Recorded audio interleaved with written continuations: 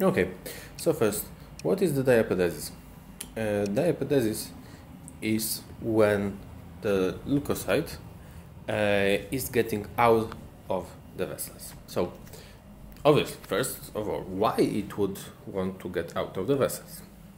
So, first you need to uh, imagine it well that generally vessels, the, the smallest vessels, the capillaries, are extremely tiny. Yes, the cells that are around them are far, far bigger. And generally, there is a lot of space around the blood vessels. Uh, and in these spaces, between the cells or in the cells, depending on the infection, usually the pathogens are living and eating those cells, generally speaking. So, our leukocytes needs to get out of the vessels in order to fight bacteria, fight viruses, fight fungi, parasites, what needs to be destroyed. Yes, it may be different things, but there is a problem. First of all, generally you can imagine a blood vessel as a fast flowing river. Uh, so imagine that you are extremely tiny cell, yes? You have just couple, couple micrometers, yes? And you want to get out of this bloodstream. First of all, uh, if uh, and uh, the banks of this river are extremely slicky, so you want to grab it, yes, you want to grab somehow it, but you are sliding. You are still trying to catch it, but you can't because it's too slicky, because the water is too fast. This is a problem that the leukocyte faces in the bloodstream. This is the first main, first main problem.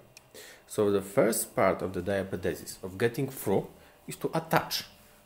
Of course, first we have a rolling, so it tries to grab, it tries to grab, but doesn't man manage, and then it attaches. There is an adhesion.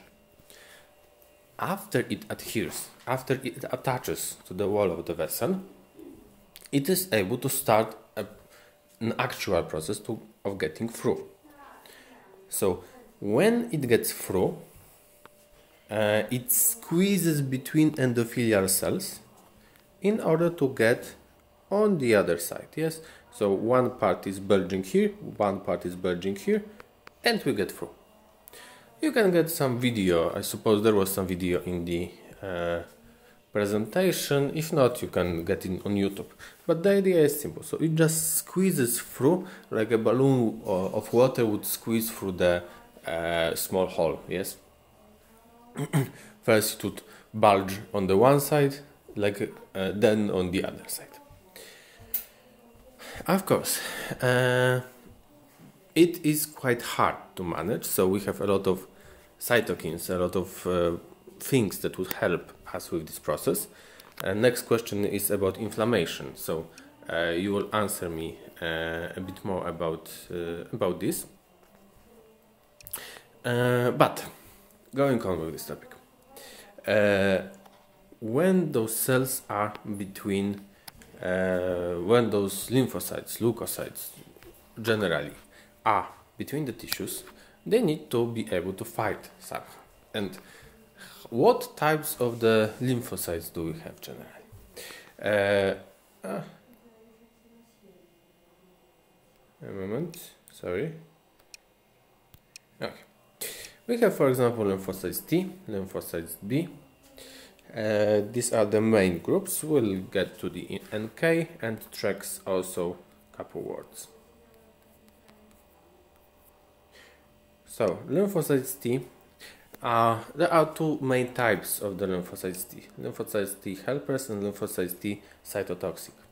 So lymphocytes T helpers are, as the name suggests, helping. Uh, so they are the main uh, lymphocytes that are coordinating other ones. They, for example, will tell uh, the lymphocytes B when to create the sorry when to create the antibodies because lymphocytes B are generally the leukocytes that produces antibodies. Some of the uh, lymphocytes B are also the memory cells.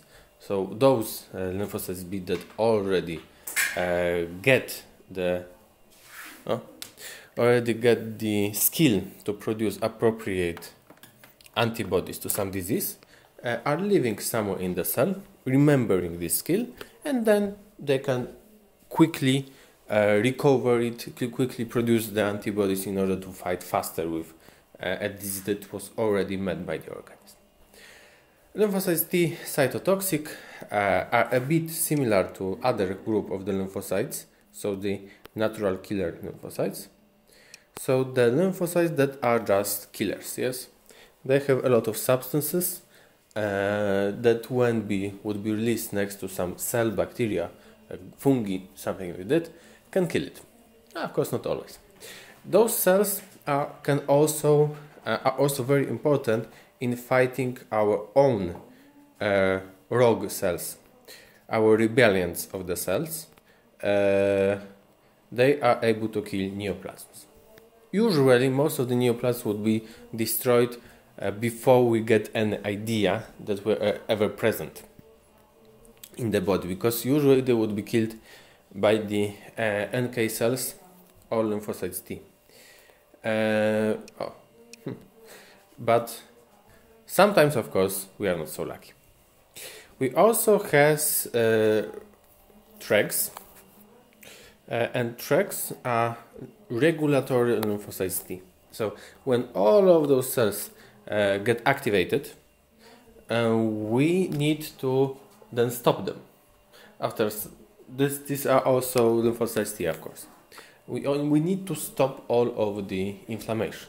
We need to uh, reduce it because the inflammation, as you read it, uh, is also harmful for us. It's necessary in most cases mm, because it helps with destroying uh, the threat, but it's also harmful. So when the threat is already destroyed, it's already killed, or can be destroyed. There are also such such situations. Uh, the inflammation needs to be stopped.